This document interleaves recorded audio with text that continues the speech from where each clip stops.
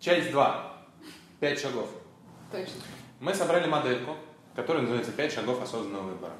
Это, а, я их назову, остановись, исследуй, выбери, сделай, поделись. А, про сами шаги нет сейчас никакого смысла распаковывать, про это можно либо почитать, а, либо прийти к нам на тренинг.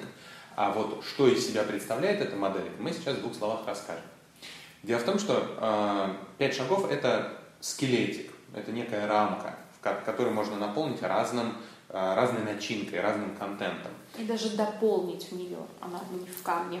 Э, дело в том, что э, внутрь этого, этого скелетика, этой, этой последовательности шагов, мы уже положили внутрь тренинга какое-то количество инструментов. Игр, э, рефлексий, модераций, каких, опытов. каких-то опытов, которые вы будете проживать вместе с нами, э, когда приедете на программу. Э, и, соответственно, подростки проживают, в свою очередь, когда они проходят программу осознанный выбор профессии.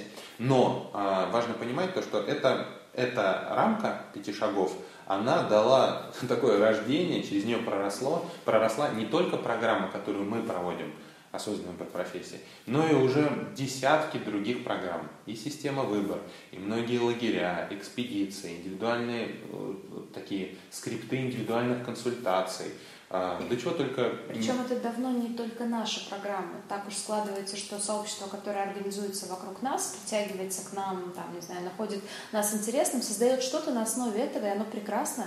Особенно интересно наблюдать про то, как это совершенно трансформируется, в нем остается очень мало изначального, но это получается очень интересный продукт, которым это точно отслеживается. Эти же пять шагов, этот же процесс, этот же цикл выбора – который совершает каждый человек. Таким образом, а, пять шагов это а, к нему можно, к этой модели можно относиться разным способом. Можно относиться как к готовой программе, и тогда мы говорим про осознанный выбор профессии по модели пяти шагов. К этому можно относиться как к рамке, которую можно наполнить только своим контентом, оставив только тушку, а можно относиться как а, к такому ну, какому-то салатику из э, тех инструментов, которые мы в него встроили, в, в эту модельку, которыми мы ее носители, дополнив ее своими. И здесь можно смело переходить, мне кажется, уже к результатам, которые вы получите, познакомившись с нашей программой.